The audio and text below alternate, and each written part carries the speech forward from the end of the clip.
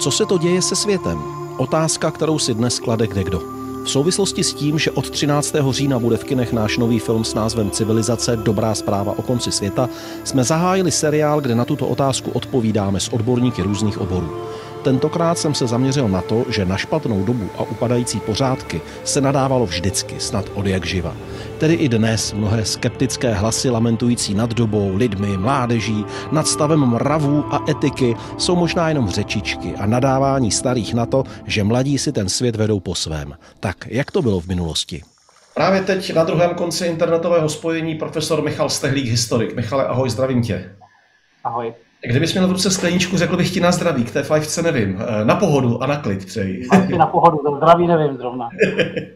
Prosím tě, eh, ten náš film, který se věnuje kolapsům civilizací, od některých lidí získává nálepku, že tvrdíme, že přijde konec světa.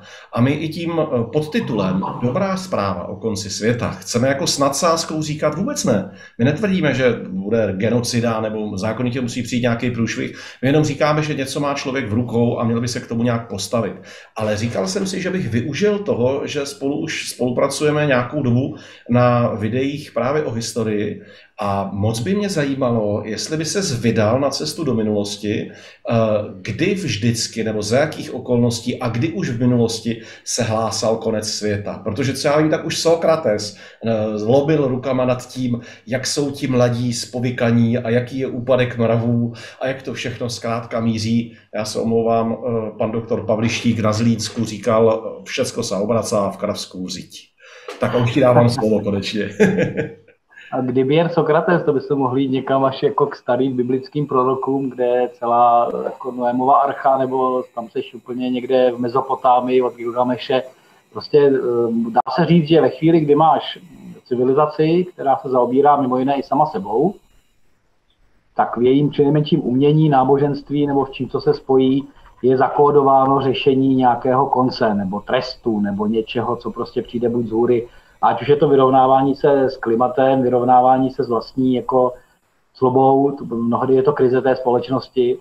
A kdybych měl do něčeho, co se trošku podobá, nebo podobá, víc mluví možná k tomu dnešku, eh, tak to zase není nějaký Noé, ale jenom se stačí podívat eh, do středověku, byť raného, protože ta naše civilizace židovsko-křesťanská je prostě položena na uh, začátku a konci věku.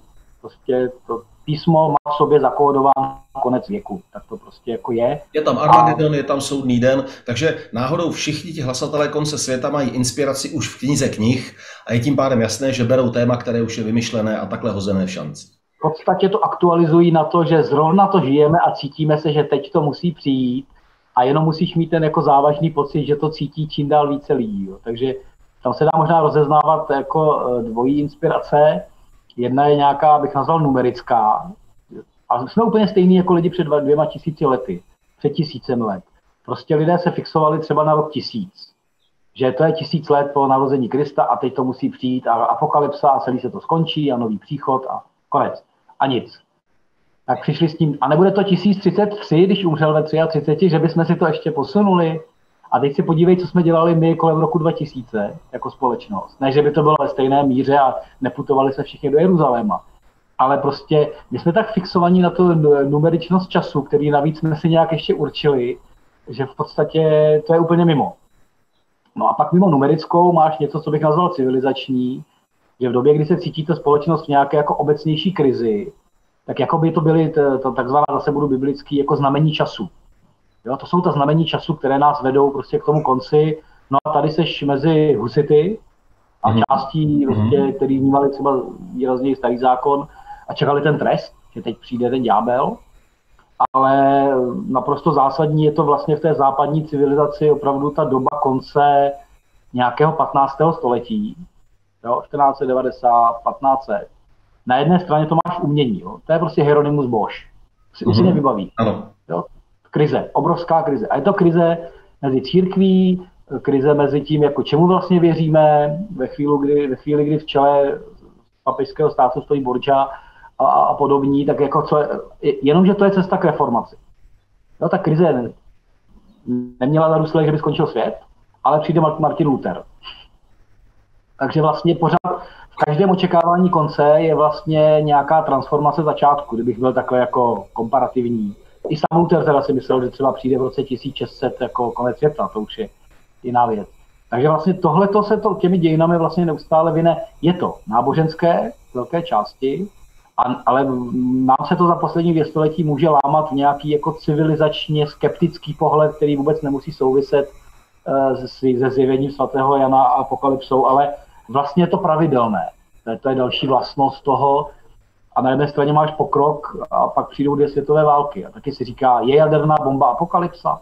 Je to ta cesta k apokalypse?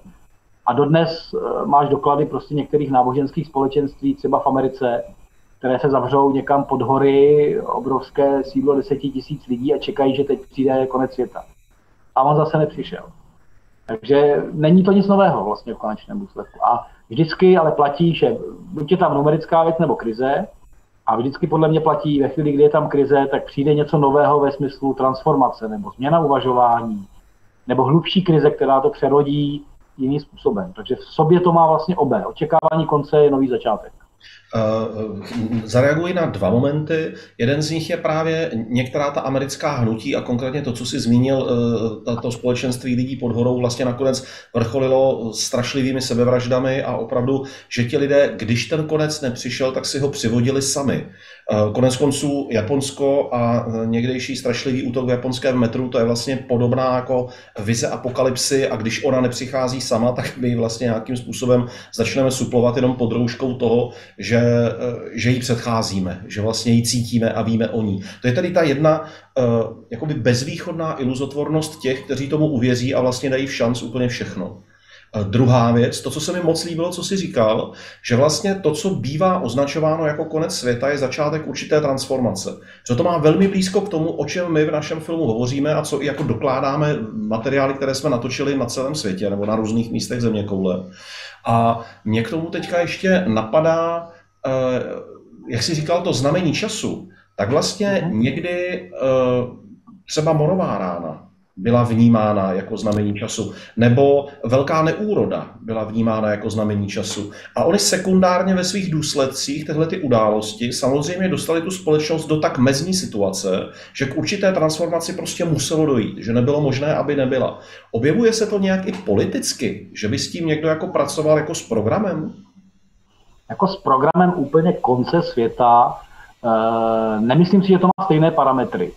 Jo, že by někdo řekl, teď ten svět skončí, protože bude krize a celé to vybouchne a my vybudujeme lepší. I ten Lenin vlastně mluví o nějaké jako transformaci společnosti a revoluci a nepracuje jakoby s koncem. On ten konec spíš přivodí tím, že vyvražďuje část té společnosti, která se nehodí. To je podle mě jako jiný, jiný parametr. A když Adolf Hitler mluví o třetí říši a tisícileté říši, jak tady vidíš tu numeričnost, jak to v tom funguje, mm-hmm. tak to spíše využívá některé věci z těch jako náboženských rituálů, aniž by to o tom konci uh, mluvilo takhle, takhle explicitně. Ona, proto je to v úvozovkách, byť to je divný pojem, uh, úspěšnější u těch náboženských vůdců, protože pak to skončí nějakou katastrofou, sebevraždou, anebo řekne, Bůh se rozhodl jinak. Mm-hmm. Ale u té politiky tě to příliš brzo dožené, protože žádné konce nepřicházejí a ty musíš prostě variovat. Jo? Takže nemyslím si, že to má úplnou podobnost eh, v rámci jako politické instrumentalizace. To spíš jako bušení na tu kolejnici e, strachu ve smyslu, e, toto může vést ke kolapsu, dělejme něco, to může být vlastně pozitivní, nemusí to být strašení. Toto, toto si myslím, to bušení do kolejnice je na místě. Konec konců Václav Cílek, kterého někteří vnímají kontroverzně, právě protože si myslím, že on do té kolejnice docela hlasitě buší, tak on eh, v jednom ze svých výstupů i říkal, že ti, kteří podléhají panice, sice jednají zbrkle, ale mnohdy jsou těmi prvními, kteří si pro tu poslední vodu ještě přijdou, kteří se včas schovají do těch krytů a případně kteří opustí eh, eh, poměrně silně antisemicky se zabarvující Evropu nebo Německo. Takže vlastně i, i taková ta lehká obava někdy může být na místě, ale je to asi o tom držet správně ty hranice, odkud kam. Je to fakt jako nesmyslná patologická já nevím, patologické strašení, dystopie a odkud kam je to nějaká reálná schopnost zvážit východnost nebo bezvýchodnost situace a na to nějak zareagovat.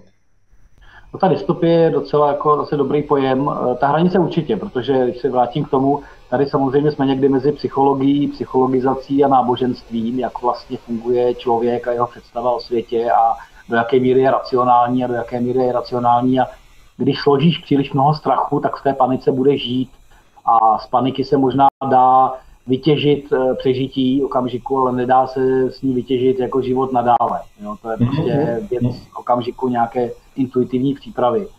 Ale u té dystopie mě ne, ne baví, ale pořád si říkám, že eh, když Jeronimus Bosch maluje své obrázky a pak společnost projde nějakou jakoby krizí svým způsobem, jako jinou, než my známe, ale projde v tom 16. století a pak v 17. a 30 letá válka, a oni jsou to opravdu obrovské krize, tak uh, moje manželka tomu říká, vždycky, když američané natočí nesmyslný film, tak do, do 20 let se něco podobného stane.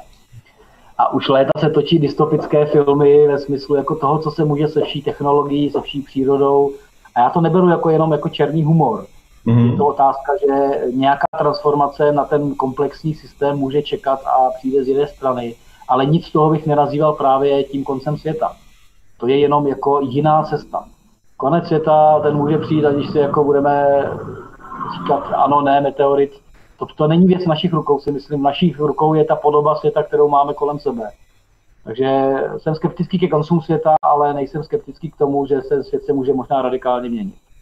Já ti mnohokrát děkuji za tuhle řeč, protože uh, dáváš mi do rukou velmi cené formulace, které já vždycky hledám, když se snažím někomu vysvětlit, že ten náš film není o konci světa a ani, že nestrašíme koncem světa. A tady tyhle ty informace, které říkáš vlastně uh, sofistikovaným způsobem konkrétně pojmenovávají to, co se děje.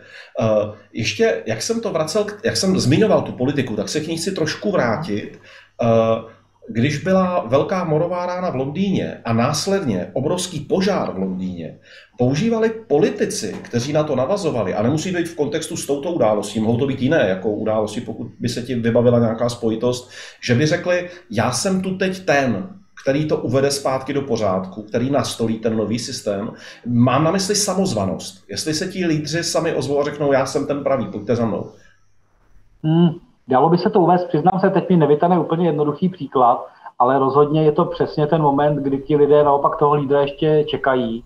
V logice 16. až 18. století to bude ve smyslu, jsou na vás e, dopuštěny boží rány a když se budete chovat takto, tak to budu já. E, ale my nemluvíme o politice v pravém slova smyslu e, až do toho 18. století, byť Británie má jinou tradici to už by musely být události 19. a dalších staletí, kdy někdo řekne, dopadlo na vás něco takhle strašného a já jediný si s tím poradím. Ale zase, my už nejsme v podobných situacích jako takhle explicitních morových rán nebo no, požáru, aby jakoby ten spasitel přicházel tímhle způsobem. A zase zpátky, tímhle spasitelem může být ten Adolf Hitler, ono to má spoustu z toho intuitivně rituálního, protože on tu tragédii, která je hospodářská, sociální a frustrační, využije jako ten spasitel. Ve smyslu, stala se vám vlastně apokalypsa. Apokalypsa německého národa. Jasně. A já jsem ten spasitel, ke kterému máte přijít. To myslím, že jde vlastně svým způsobem takhle použít, protože tam toho racia vlastně moc není. Tam je to iracionální, byli jsme velicí, jsme malí, někdo nám to proved a já vás z téhleté apokalypsy národa, kdybych to takhle použil, vyvedu do té tisícileté říše. No tak to máš náboženství jak vyšité vlastně. A funguje to v politice 20. století. A funguje to i vlastně dnes. Tohle to je jako analogicky používaná pohádka, která funguje na celém světě, v jakékoliv zemi. Konec konců vzrůst populismu v mnoha zemích světa vidíme reálně a ten je velmi často založený na domělé křivdě. Je vám křivděno, eh, případně trpíte, protože za to může nějaká třetí strana a já teď nastolím svoje nové pořádky, pakliže vy se se mnou vydáte tuto křivdu strestat. To je retorika, která jako funguje. A nebo může fungovat to, že přijde nějaká reálná krize od té hospodářské, sociální, ekologické a jiné. A jestli něco člověk ze své podstaty příliš nemá, tak je to trpělivost na dlouhodobá řešení. A zjednodušen, tak eufemisticky to říkám. A vlastně v konečném důsledku vítězí ti, kteří přijdou s těma řešeníma, zítra bude líp. Neříkám, za mě bude líp, za mě bylo líp. Ale prostě já to vyřeším hned, teď a bude to lepší. To, že to takhle nejde, vůbec nesouvisí s racionalitou. A je to přesně, kdy tu krizi můžeš využít eh, ne transformačně, ale pro svoje vlastní zájmy, ve smyslu vysvěřte mi to a uvidíte, že já to zvládnu. A lidé hledají eh, to, tohleto jakoby personifikování v tom řešení. Oni ho nebudou hledat v ideologii, v ideji, ale tady je to nebezpečí populistických vůdců. Poslední věc, na kterou se tě zeptám, a pokud řekneš, že na to nechceš odpovídat, tak tě vůbec nebudu nutit, a legitimně to přijmu. Máš pocit ty jako historik, že se teď v podstatě v těch posledních letech, pěti, osmi, deseti letech, fakt jako zvedl poklop dějin a najednou se ten kadlub jako míchá rychleji a že fakt se dějí věci uh, velmi rychle až překotně a pak se to zase nějak usadí a bude chvíli klid, anebo spíš tím, že právě máš vhled do těch událostí, které my mnohdy přehlížíme, tak bys řekl, hele ne, ono se o tom teďka jenom prostě hodně mluví v médiích, ale že by se fakt najednou nějak zrychlily velké světové události, to ne, to je iluze. Jak to vidíš? Já na to asi uh, odpovím, neodpovím, tak nějak hezky. Uh, já si myslím, že to je spíše pravda, že ty věci se koncentrují do výraznějších proměn a stávající systémy. Jsou to velmi komplexní systémy. Uh, nefungují tak automaticky, jak si možná nám zdá, protože do nich prostě vždycky zasáhne tu epidemie, tu válka, tu ekonomický pravidelný kolaps. Když jsou všichni tři dohromady, tak to může být jako nečekané, co to způsobuje v té globalizované společnosti. To je spíš takový popis. A uh, jestli to cítím nebo necítím, uh, já, já si na to většinou odpovídám, že já jsem měl ohromné životní štěstí, že jsem prožil výraznou část svého života v neuvěřitelně klidném období 30 let poslední. A jsem si hodně nejistý, že podobně uh, klidná klidné tři dekády zažijí moje děti. Já si to nemyslím. Já si myslím, že ty věci se budou měnit více či méně radikálně Eh, souvisí to i s klimatem, podle mě i s ekologií, eh, se vším dohromady, migrací, chudobou. A je to globální.